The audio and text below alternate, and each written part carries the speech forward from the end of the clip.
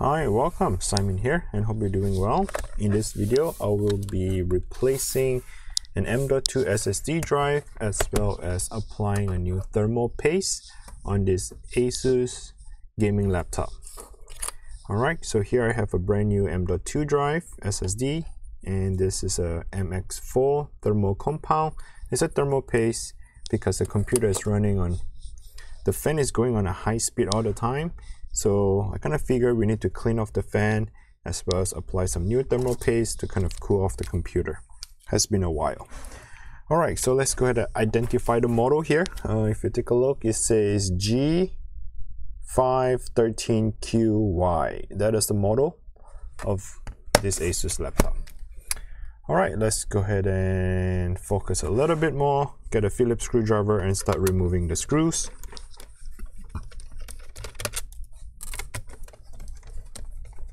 What I recommend you to do is maybe take a picture, print out the piece of paper.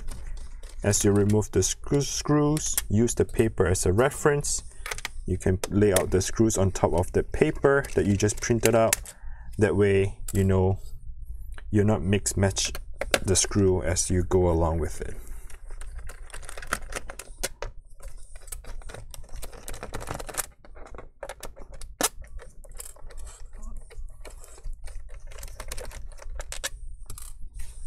So far the screws looks all the same.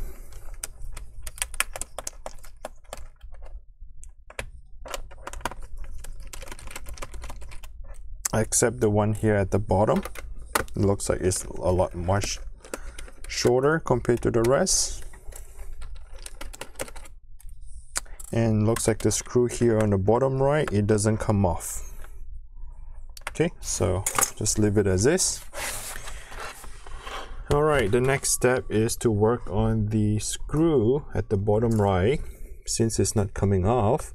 That way probably separate the back cover. Allows me to get in there.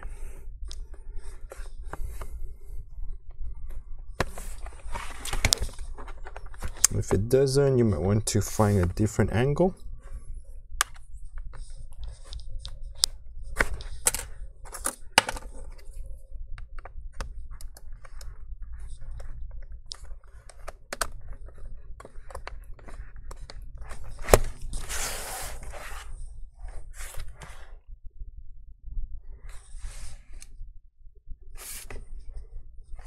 yeah let's work at the bottom. It's a lot easier it looks like.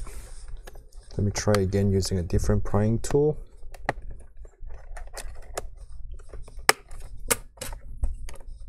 Just need to get enough of space to pry it open like such. Maybe using a plastic prying tool to go ahead and pry it open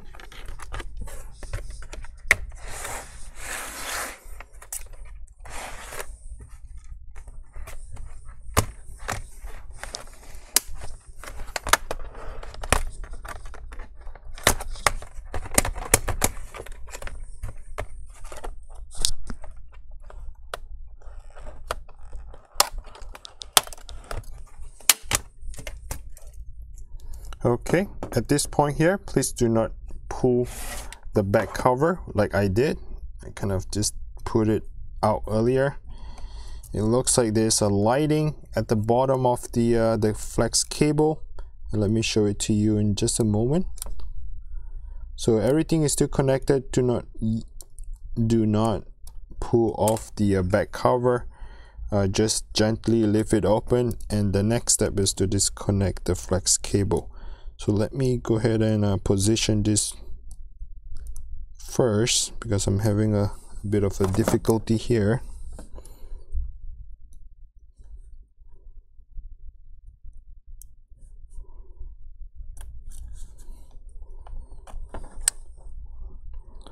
Because they do have this lighting in the back cover which um,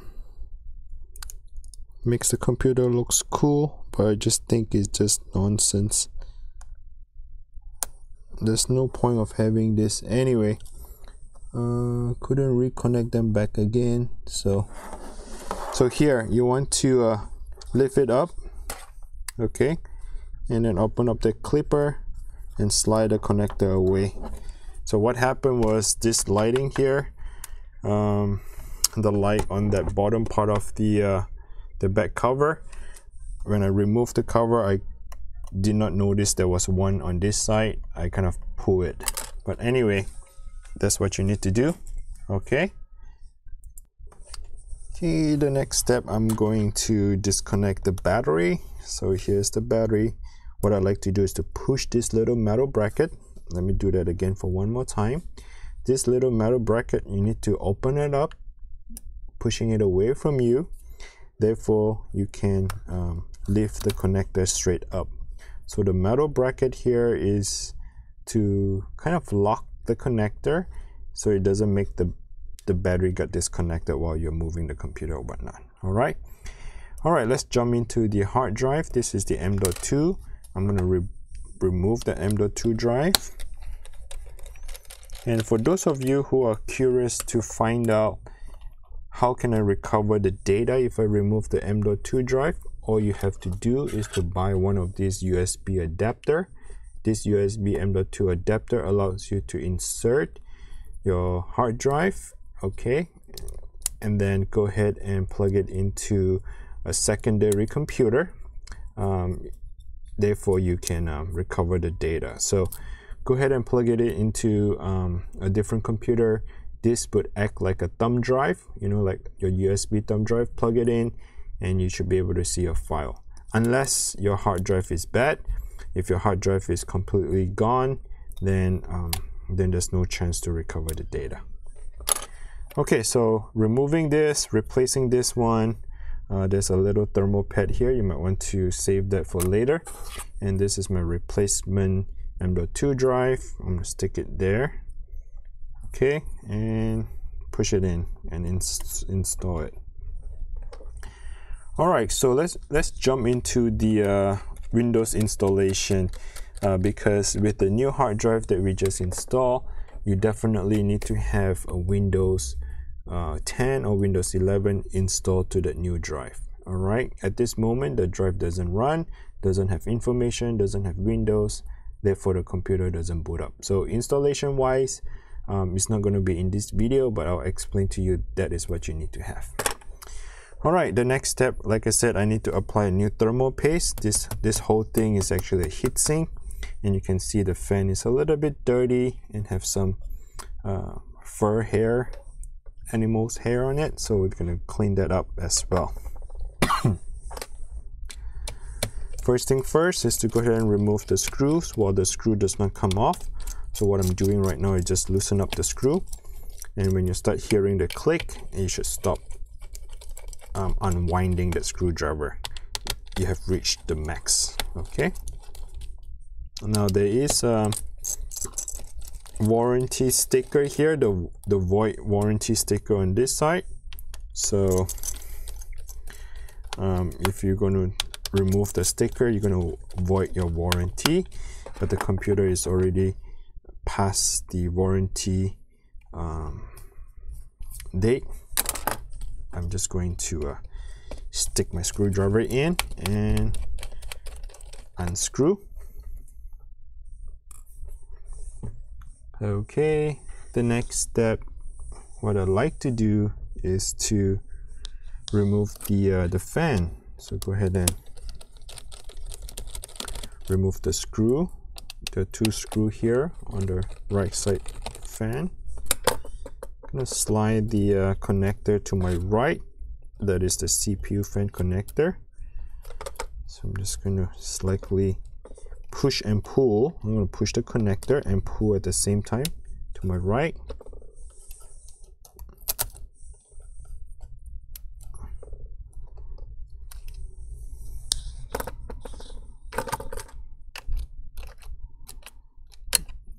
I wonder why there's so many loose screws around.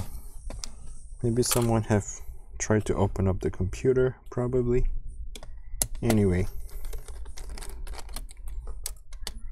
working on the left CPU fan, there are three screws holding it down. Unscrew three of them. I'm gonna use the technique push and pull have the uh, cable here push to my left. At the same time I'm pulling it to the left. Okay. All right let's see if I can remove the uh, heatsink. This looks like there's one more screw here that very important to remove and there's one screw here to remove as well okay at this point I'm going to be very gentle putting slight pressure lifting up the heatsink and there goes the entire heatsink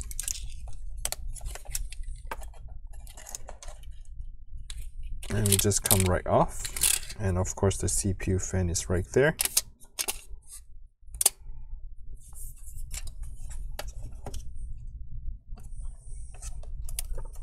There's one more screw here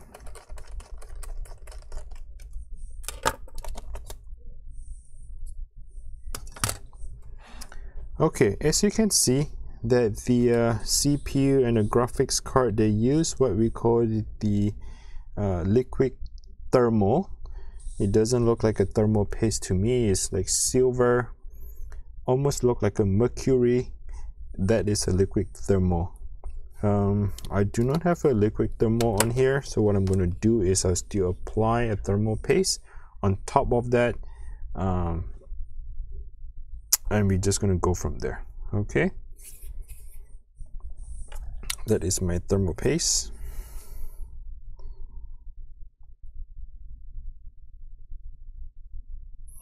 Give a generous amount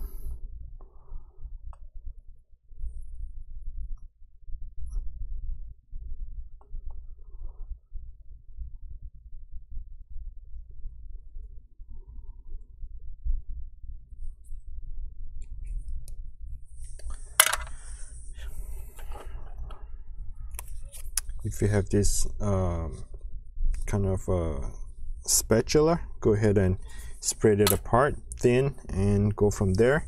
So what I'm going to do next I actually want to um, clean out the fan and I'll be right back. So I just use an A-can duster to just dust it off and hopefully that helps to uh, cool off the computer. Okay I have cleaned out the uh, board of the CPU fan. It's much cleaner now um, I don't see much of the dirt. Let's go ahead and reinstall the uh, heatsink.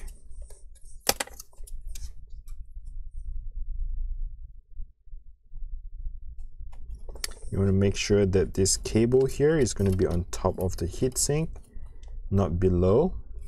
And that is the gap where you can put that put the thing in. Making sure it matches all the screws area. Okay I'm gonna put the first screw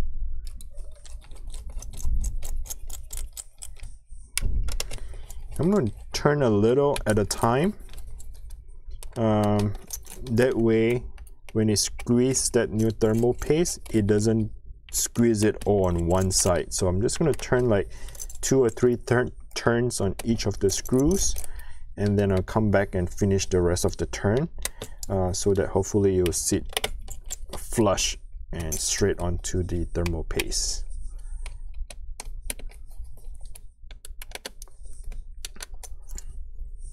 Okay so once that is all done remember the two tiny little screw here on this side. I wonder if the CPU fan should go in first though. If it is then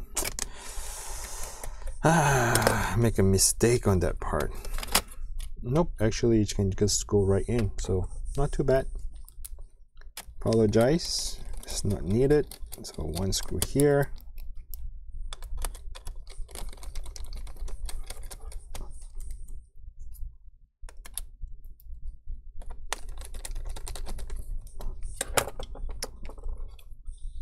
so the connector the connector for your CPU fan you see that the dots that dots would be facing on the top.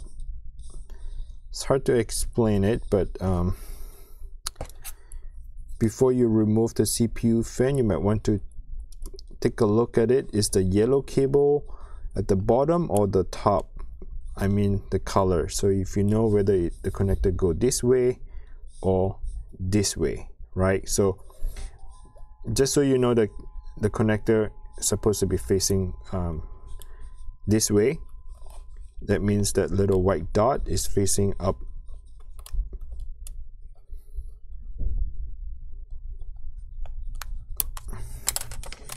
All right they make the connector so tight I can't even get in so I'm to remove the screws.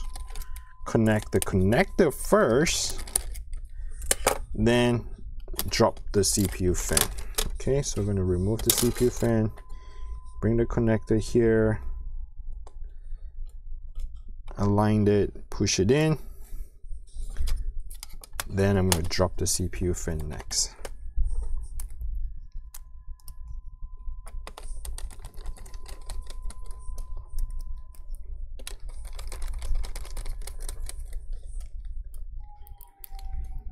okay once I've done with that process let's do the same for this. Okay.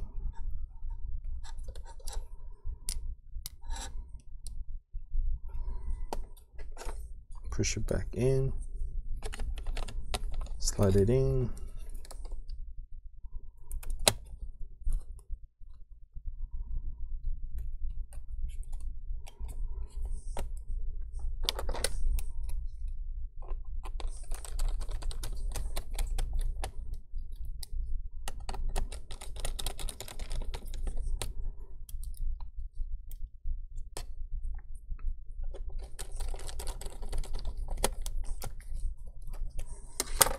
and then reconnect the battery making sure that the metal bracket get pushed down to hold that connected together. All right that's pretty much it. And then we're going to reconnect this back together. I'm going to slide this thing in.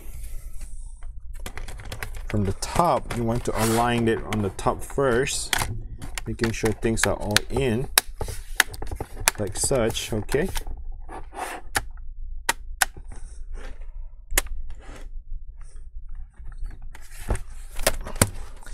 and then you're going to come back here and then connect the uh, the cable.